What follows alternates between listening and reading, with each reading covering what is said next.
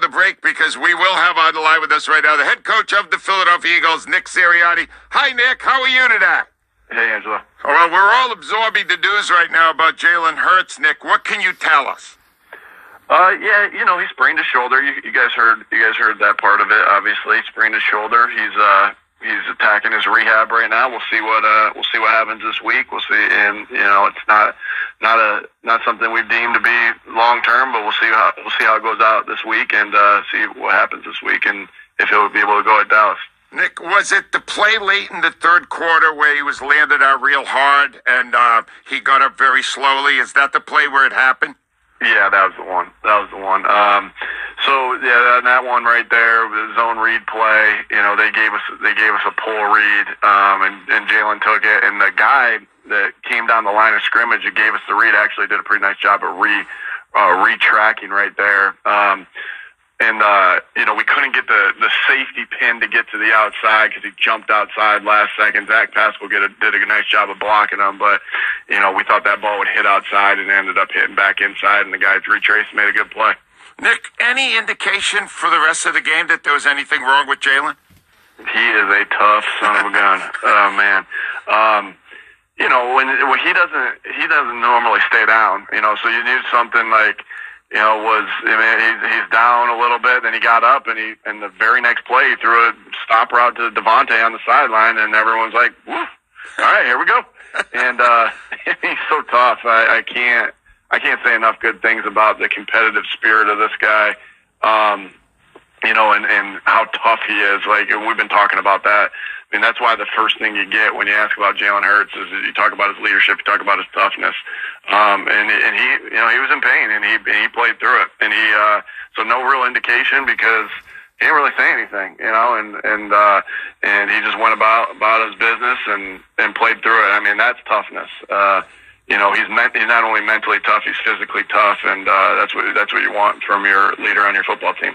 Hey, Nick, um, the city is uh, verklempt. We're upset. And we're upset because as the game was being played under very adverse weather conditions, wind and cold, against a, uh, uh, basically a low ranked run defense, you never ran for 24 minutes with your best running back, Miles Sanders.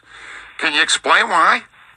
Yeah, you know, they they, they devoted a lot of uh, efforts to the run game and a lot of efforts to you know they were doing some things that they had normally done from a two high shell. They were doing it out of a, a closed shell, you know, and giving us one on ones. And uh, I think the indication of the games that AJ and DeVonta had kind of showed you like, hey, I mean, they like I know what they're ranked in the run game, but if a team wants to say I'm going all in and you're going to have to you're going to have to throw to beat us. You know, that's you know that's what some teams are going to do, and we're lucky enough that we're able to be balanced and to be able to adjust and say, okay, you're doing that, we're going to do this. And AJ had 181 yards, DeVonta had 126 yards. Um, so we had a pretty good, you know, if they played the style that they were playing, we knew that we could hurt them uh, on the outside. Now we we uh, we let some things go early as far as um, missed some opportunities and didn't get them in the in, in some right plays. We didn't put them in a good position to make plays here and there. Um, but we threw the we threw the crap out of it because um, you know we knew that we had an advantage, and I think that showed throughout the game. Our our players of the game. Um, the players don't know this yet, but our players of the game are DeVonta and, and AJ. Oh, they were phenomenal. And look, you're 13 to 1, Nick. Uh, you know, no matter what we're complaining about, you're 13 to 1. But we're all concerned that you didn't run Miles Sanders at all. You ran Quez Watkins before you ran Miles Sanders. Are you aware of that in the game while it's happening?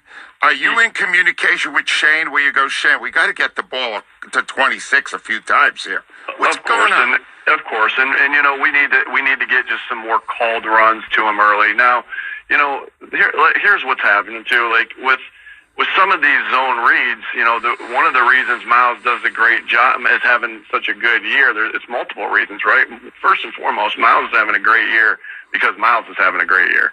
Secondly, he plays behind an unbelievable offensive line. There's, and there's no, you know, there's no dispute to that. You know, and thirdly is that Jalen Hurts has such a you know, I was always taught you win games on the front side, you win, and you win, and you win big games on the back side, right? And so what does that mean? Well, you know, the pursuit's coming from the backside and you got to find ways to slow it down. And, and, and our way to slow it down is Jalen Hurts because they know at any time that he can pull the ball.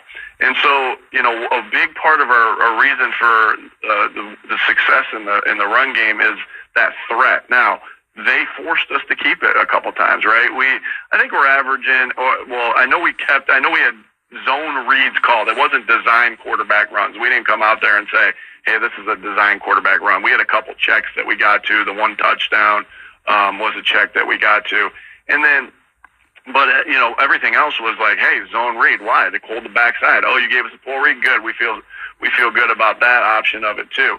Um, and so, you know, that's a big part of success of our offense is that zone read ability. And now sometimes you give it and sometimes you don't. Um, and I think in that game we had seven, you know, zone reads that he had to pull. Um, on design, uh, on the year, as we look at it, you know, we always keep track of it.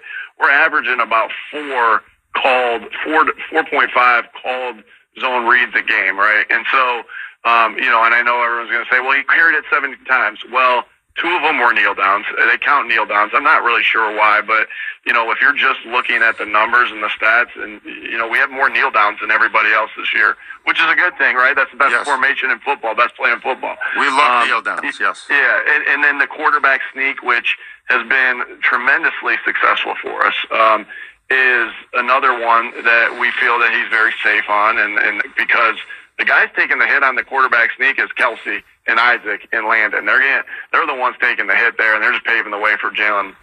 And then you have some, then you have scrambles. So really, we're averaging about 4.5 uh, quarterback runs a game, and we had a couple more than that, and because of the way they they kind of um, and it's not quarterback runs, it's zone reads, but we had a couple more that we pulled because of the way they were playing. And but going back to your question, uh, we have to have some that are just for Miles that we don't read, uh, and we got to get them called earlier. And so I take 100% responsibility that that Miles didn't have those, and uh, you know, and we need to do that for him because he's one of our really good players.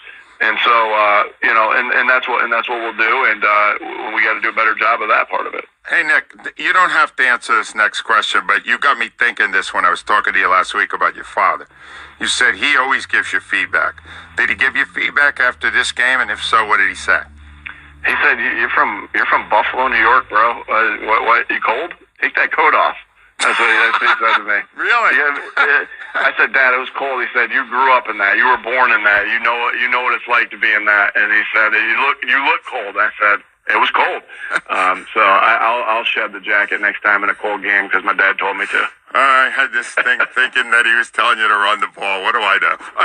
uh, Nick, let me ask you about Gardner Minshew because it sounds like he's going to get a chance to play here. Is he ready for it? Oh, of course. This guy's a this guy is a great, uh, you know, backup quarterback that could be starting on teams in this league, and we know that, and we're very fortunate to have him.